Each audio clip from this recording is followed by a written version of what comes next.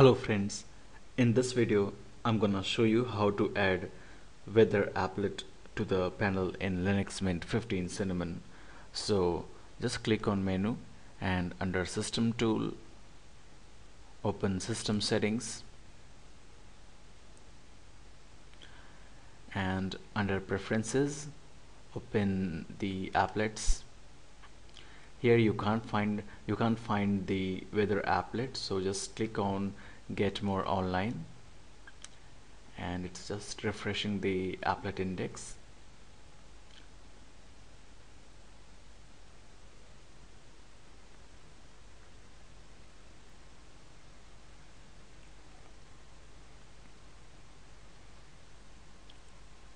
So next you can see here weather applet just select it and click on install or update selected.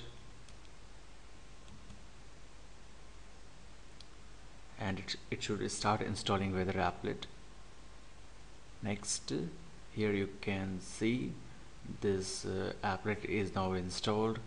Again select the install tab. Here you can find the weather applet. Next uh, uh, to add it to add this to the panel uh, just click on it right click and add add this to panel. And here you can see this applet is added to the panel but right now you can't see anything here only this only this refreshing shine. So just um, uh, we have to configure it. Right click here and just click on configure.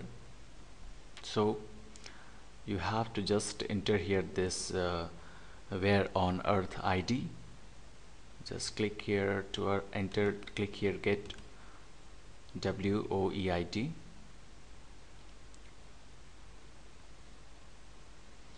here just enter the the name of your city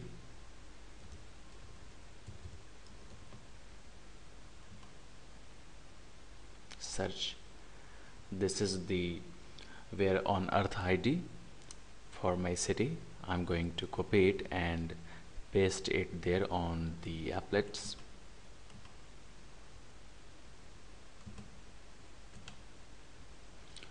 So next it should display here the the weather of my city. So this is how applet is uh, weather applet is added to the panel in Linux Mint 15 Cinnamon. So that's all for now friends. Thanks for watching